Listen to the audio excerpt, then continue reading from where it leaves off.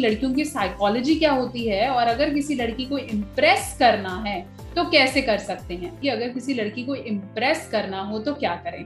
लड़कियाँ अगर किसी को अपना जीवन साथी बनाना चाहती हैं और उसके साथ लंबे समय से चलती हैं तो फिर वो एक ऐसा लड़का ढूंढती हैं जो उनके लिए एफर्ट्स करने से रुके नहीं। लड़की, हर उस लड़के से इंप्रेस होती है जो उसे छोड़ता नहीं है और उसी के लिए ही रेगुलर एफर्ट्स करता है। कोई भी इंसान एक ही चीज़ से पिघलता है, वो है उसकी तारीफ़। ये ह्यूमन साइकोलॉजी है कि हमें अप्रिसिएशन हमेशा लुभाता है। आप उनकी तारीफ़ करिए, उनके गुणों की। रादर देन तारीफ़ करना कि तुम्हारा बैग बहुत अच्छा है, तुम्हारा पर्स बहुत अच्छा है, तुम्हारे बाल बहुत अच्छे हैं।